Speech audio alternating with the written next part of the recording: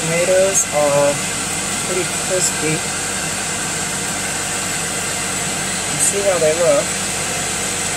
Pretty dry. I want to go a little bit longer just to make sure because you don't want any moisture left in them at all.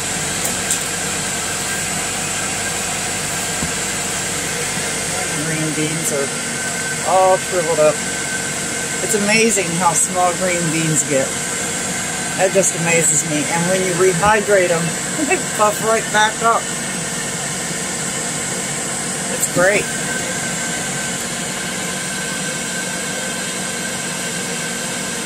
So that's the 48 hour mark right there.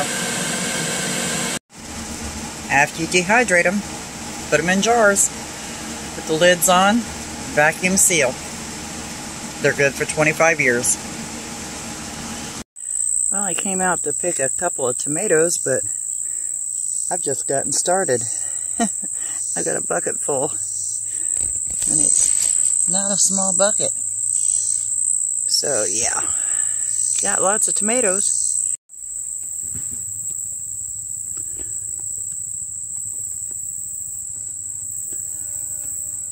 nasturtiums.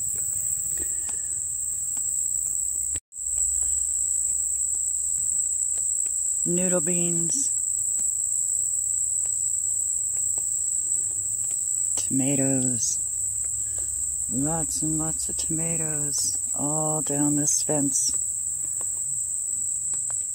Basil. Some more basil. This zinnia is about done, but it has lots more blooms coming up on it.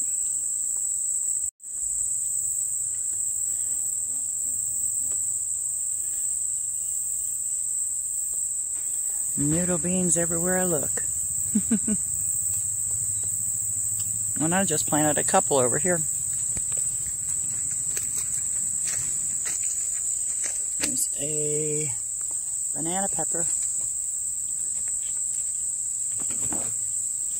I can get it in frame. There it is.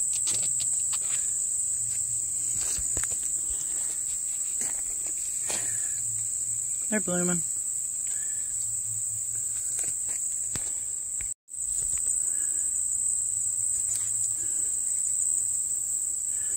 Kind of hard to get a picture of it like that.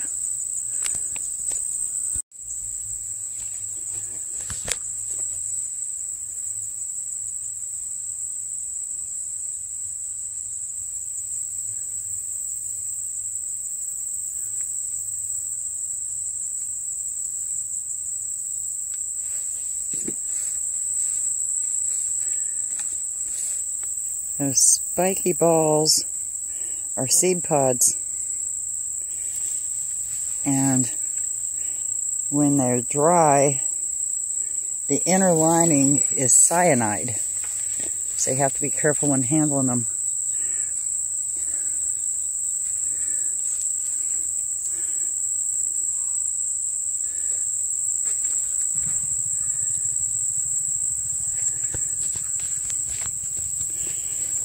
We're waiting on that and that and that and that and that. We like butternut squash. My Roma tomato fell over, but that's okay because it's got lots of tomatoes on it. And they'll be getting ripe pretty soon. You can see all the tomatoes. There's just bunches of them here, there, and everywhere. All over it. They make great salsa. Okay, time to go in.